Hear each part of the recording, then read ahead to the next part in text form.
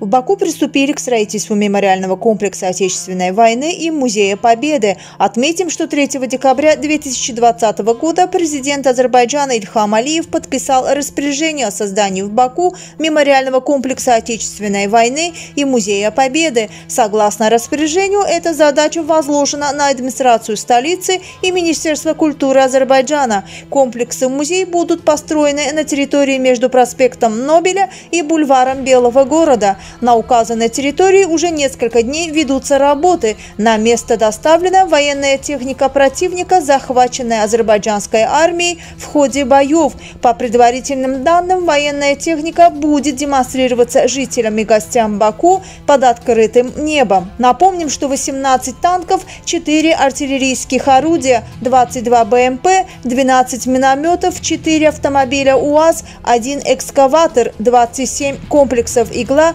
один автомобиль марки ЗИЛ и 9 автомашин марки ГАЗ вооруженных сил Армении были взяты азербайджанской армией в качестве трофеев. 10 декабря 2020 года на параде в Баку была продемонстрирована часть военных трофеев, захваченная у армянской армии.